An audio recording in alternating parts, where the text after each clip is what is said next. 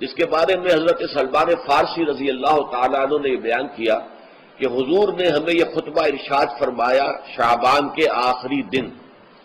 फकाला, और फरमाया योनास ए लोगो अब अगुल्लकुम शहरुन अजीम।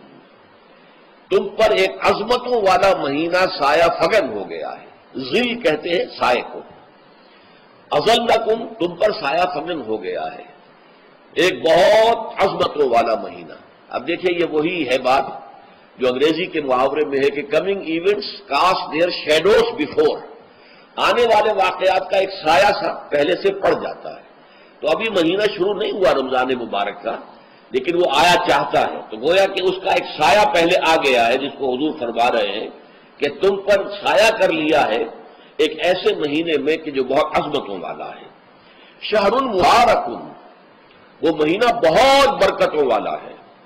शहरुल फ़ी है लैलतुन खैर मिन अल्फेशार ये वो महीना है कि जिसमें एक रात वो भी है कि जो हज़ार महीनों से अफजल है।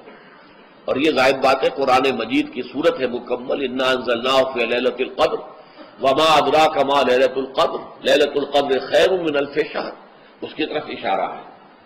अब उसके बाद जो जुमला है जाल अल्लाह सयामहू फरीजतन। अल्लाह ने इस महीने का रोजा रखना फ़र्ज़ करार दे दिया है। वह कयाम लैल ही, एक तो कयाम लैल के दस पर गौर कीजिए। और इसकी रातों के दौरान खड़े रहने को ततवन आज़ाद मर्ज़ी पर छोड़ दिया है। कुतबाकुम श्याम कमा कुतब नजीर अमिन कबलिकुम। लाकुम तत्तकून, ताकि तुम्हारे अंदर तकवा पैदा हो जाए। अब यह है हिकमत सौम की पहली आयत। तकवा किसे कहते हैं? बचना। किस चीज़ से बचना? अल्लाह ने जो चीज़ें आराम की उनसे बचना। अल्लाह के अहकाम को तोड़ने से बचना। जब रमज़ान का महीना वो है कि जिसमें कुरान नाजिल किया गया। अब जो शख्स भी इस महीने को पाए, उस पर लाजिम है कि उसके रोज़े रखे। हाँ, मन का न मरीजन अवाला सफरिन। जो शख्स हो, मरीज़, बीमार हो या सफ़र पर हो फ़ैद दतुमिन यामिन उखर तो वो तादाद पूरी कर ले दूसरे दिनों में। युरीदुल्लाह बेकुमुल युसरा वला युरीद बेकुमुल उसर अल्लाह तुम्हारे साथ आसानी चाहता है, सख्ती नहीं चाहता। अच्छा रोज़े का इससे ताल्लुक क्या है? ये समझ लीजिए। देखिए, हमारे गुनाहों का सबसे बड़ा सबब। हमारे नसानी तकाजे हैं। हम एक हैवान भी हैं और हैवान से बढ़कर भी कुछ है, वो मैं बाद में अर्ज़ करूँगा। एक हान तो है। जैसे हर हैवान को कुछ खुराक की ज़रूरत है, हमें भी ज़रूरत है। हर हैवान को बकाए नस्ल का मामला जिनसी है, वो हमारा भी है। हर हैवान को कोई ना कोई सर छुपाने की जगह चाहिए, कोई घोंसला हो, कोई खो हो, कोई बिल हो, कुछ भी हो उसे चाहिए आते इसी तरीके से हमारे सारे तकाजे हैं। हैवानात को भी आराम चाहिए, हमें भी आराम चाहिए। ये हैवानी तकाजे जो है, जिनको हम कहेंगे एनिमल इंस्टिंक्ट्स हमारे वजूद के अंदर है ये और इनका तकाजा हमारे अंदर से उभरता है। ये जो कैफियत इंसान की है इसके लिए एक मस्त जो है वो रोजा फराहम करता है। रोज़े के आपने 12, 13, 14 घंटे का भी रोजा होता है बाद जगहों पर 16, 17 घंटे का रोजा होता है। इस अरसे में आप अपने नफ्स को हलाल चीज़ों से भी रोके रखते हैं। इस मुँह घोड़े को मुँह घोड़े को जो है आप उसकी लगाम कस कर रखते हैं कि हलाल भी नहीं खाने दे रहे? ये पाबंदियाँ नफ्स के ऊपर लगाना, ये एक मश्क है, ये एक रियाजत है। इस रियाजत का हासिल ये होना चाहिए कि इंसान बकिया ग्यारह महीनों में अपने आप को हराम से तो बचाए ना। यहाँ वो हलाल से रुका हुआ है, अल्लाह के हुक्म से।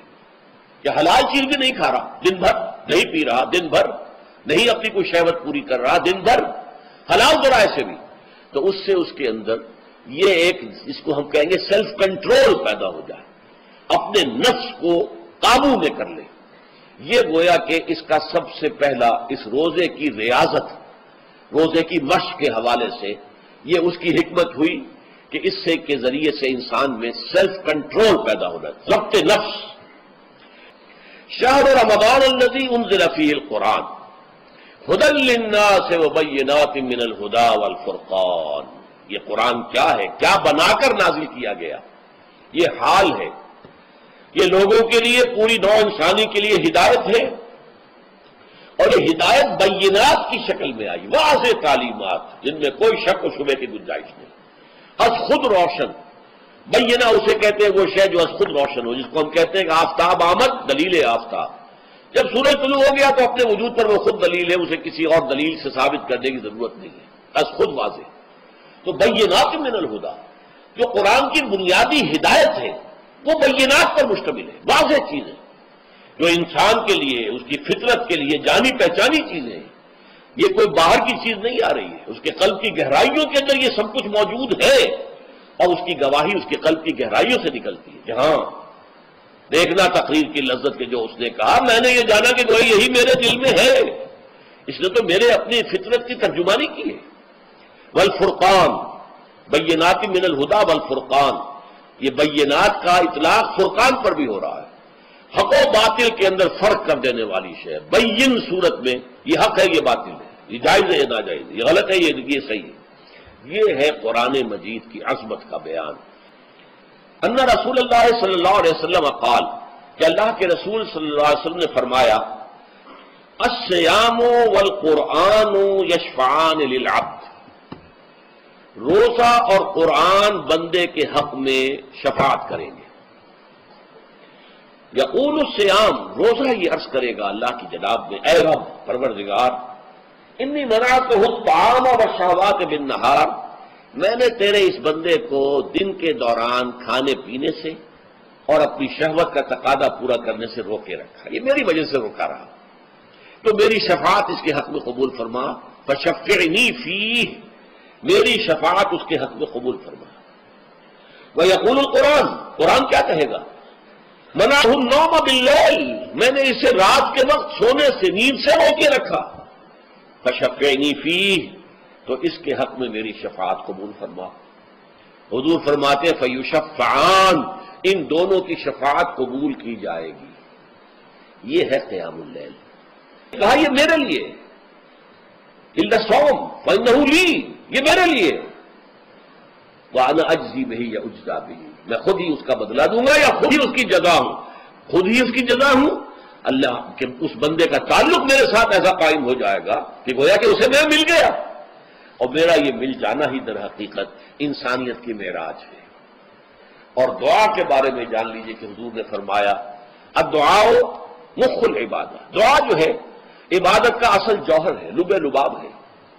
और यह भी कहा दुआ हो इबादत दुआ ही असल इबादत है, दुआ ही असल इबादत। दुआ जो है, वो रूह है इसकी।